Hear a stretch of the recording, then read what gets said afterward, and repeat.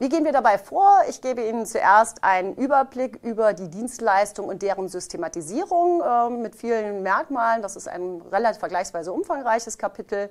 Danach gucken wir uns Produktionsplanung und Controlling-Aspekte an. Ganz zum Schluss dann kommen wir auf die Quintessenz, die Erfolgsfaktoren und den Ausblick.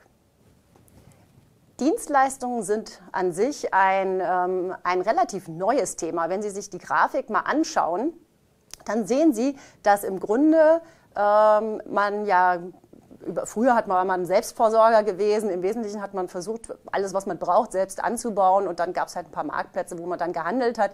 Aber im Wesentlichen ging es um Güter. Also wenn man aus dem, aus dem landwirtschaftlichen Prozess herkommt. Man hat dann ähm, langsam angefangen, und das ist ja auch die ähm, industrielle Revolution gewesen, dass man ähm, Güter verarbeitet hat, produziert hat und eigentlich nicht mehr, mehr von den Rohmaterialien gewesen ist, sei es aber auch Kohleförderung, sei es Landwirtschaft, sondern dass man angefangen hat, Güter ähm, industriell in, in, Fabriken zu produzieren, zusammenzumischen. Und das ist dann der Produktionsprozess, den wir vor zwei Wochen kennengelernt haben, im Sinne von verschiedene Materialien, Arbeitskraft, die zusammenkommen, werden in einen Transformationsprozess gegeben und am Ende kommt praktisch das Gut raus, was man dann ins Regal legen kann und ähm, kaufen kann. Dienstleistungen sind anders und das gucken wir uns an ähm, und das sieht man, wie sich der sogenannte tertiäre Sektor, also diese sagen wir mal, Agrarproduktion ist der primäre Sektor, das Thema von Produktion von Gütern ist der ähm, sekundäre Sektor und wie sich der tertiäre Sektor, nämlich das Thema der Dienstleistungen, ähm, entwickelt hat. Also Sie sehen, das ist noch ein relativ junges Thema und das liegt daran, wir sehen es immer noch sogar in den BWL-Büchern zur Produktion von Gütern, gibt es ganz viele Kapitel. In jedem BWL-Buch sehen Sie das, wenn Sie mal gucken, was über Dienstleistungen steht. Selbst im Jahr 2018 ist das noch vergleichsweise überschaubar, obwohl, wenn wir uns die Zahlen anschauen, dann ist das gar nicht verständlich, weil unsere Wirtschaft, insbesondere zum Beispiel hier in den Industrieländern ähm, in Deutschland, hauptsächlich ganz viel aus, aus Dienstleistungen besteht. Und dann haben wir natürlich auch noch das Informationszeitalter das überdeckt das alles. Das kann man nicht auf einen bestimmten Sektor beziehen, aber im Dienstleistungssektor ist das besonders groß und bei arbeitsteiligen Themen ist das auch besonders groß. Und selbst die Produktion von Gütern kann ja auf Dienstleistungen gar nicht mehr verzichten. Ähm, und all das wird auch durch Informationen überlagert. Also das ist im Grunde, deshalb sagen wir auch Industrie 4.0, ähm, das hat was damit zu tun, dass die Sachen jetzt informativ vernetzt werden und selbstständig, naja, vielleicht noch nicht denken können, aber sowas ähnliches.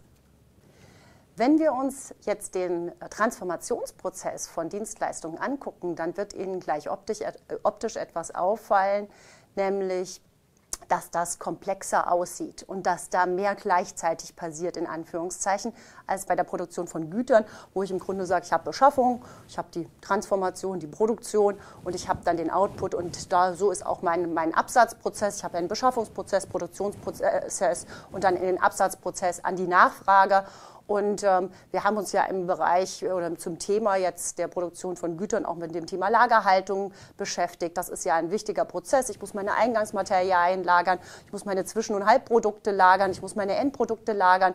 Ich kann also, und das ist ein wesentliches Kennzeichen, ein wesentlicher Unterschied zu Dienstleistungen auch, ich kann ähm, Dienstleistungen nicht auf Halde produzieren. Das kann ich aber bei Gütern schon. Also ich kann im Grunde vorausschauend meine Winterski ähm, auch schon im Sommer produzieren oder andere Sachen, wenn der große Absatz kommt und wenn ich mit meinen Fertigungskapazitäten zum Beispiel gar nicht nachkomme. Das geht bei Dienstleistungen nicht. Im Grunde ist natürlich auch eine Dienstleistung eine Faktorkombination, wie wir das auch bei Gütern haben, aus, ähm, aus bestimmten Materialien, aber genauso aus, ähm, Dienst, aus Personal. Nur mit dem Unterschied, dass der Faktor Mensch, der Faktor Personal sehr einen viel höheren Anteil an Dienstleistungen üblicherweise hat als, ähm, als bei der Produktion von Gütern, wo man ja doch schon relativ viel industrialisieren konnte. Was aber auch noch das andere Besondere am Transformationsprozess ähm, bei der Dienstleistungsproduktion ist, dass der Nachfrager in irgendeiner Art und Weise immer mitwirkt. Und wir gucken uns gleich verschiedene Arten von Dienstleistungen an, was der Unterschied ist. Aber bei Dienstleistungen geht es ohne den Kunden oder einen Gegenstand des Kunden nicht. Also denken Sie nochmal an das Beispiel Friseur. Ohne dass sie den Kopf dahin halten und sagen, wie sie die Haare gerne geschnitten haben wollten oder ob sie nur eingelegt oder gefärbt oder sonst was.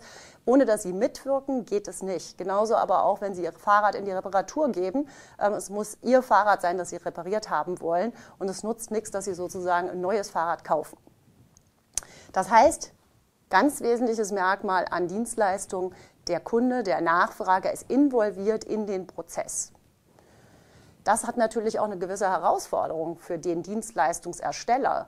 Der muss nämlich dann da sein, wenn der Kunde ihn braucht oder umgekehrt, der muss dann geöffnet haben, wenn der Kunde ihn braucht.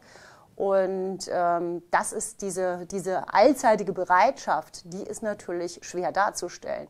Und dazu kommt es noch, dass jeder einzelne Mensch ja unterschiedlich ist. Das heißt die Frage, ob der, der die Dienstleistung erbringt, ähm, ob der, wie gut der das eigentlich kann, wie kann ich prüfen, ob er das gut kann, kann ich das erst am Endergebnis sehen. Wir gucken uns gleich noch ein paar von diesen Merkmalen an. Und insofern ähm, kann man im Grunde sagen, dass Dienstleistungen aus drei Phasen oder aus drei ähm, Orientierungen bestehen. Zum einen die Potenzialorientierung. Das heißt, die Dienstleistung als Bereitschaft, eine Dienstleistung zu erbringen. Also ich muss das darstellen. Also im Hotel muss ich mein Essen eingekauft haben, ähm, wenn dann der Kunde kommt und sich aussucht, was er von der Speisekarte hat. Wenn ich eine Speisekarte habe, muss ich das auch da haben, obwohl ich gar nicht weiß, ob am Morgen, heute ähm, die Leute mehr Lust auf Schnitzel oder mehr auf Kartoffelauflauf haben. Dann kann man ähm, die Prozessorientierung der Dienstleistung, also bleiben wir vielleicht bei dem Hotelbeispiel, ähm, dass dann auch tatsächlich gekocht wird, dass ähm, bedient wird, dass das Essen auf den Tisch gestellt wird, dass abgeräumt wird. Das ist im Grunde eine Prozessorientierung der Dienstleistung, die man jetzt im Zweifelsfall im Restaurant zum Beispiel erbringt. Und dann kann man natürlich auch noch die Dienstleistung äh, mit einer Ergebnisorientierung betrachten. Das heißt, was nimmt der Kunde dann mit ich meine, warum ist er auch da hingekommen? Ist er hingegangen, weil er Hunger hat? Ist er da hingegangen, weil er sich mit Freunden irgendwo im Warmen zusammensetzen will? Ist er da hingegangen, um mal eine Atmosphäre zu haben, wo man sehr gut reden kann? Was ist eigentlich das Ergebnis? Und insofern ist eine Dienstleistung häufig auch noch komplexer, als wenn wir über Bedürfnisbefriedigung bei Gütern nachdenken.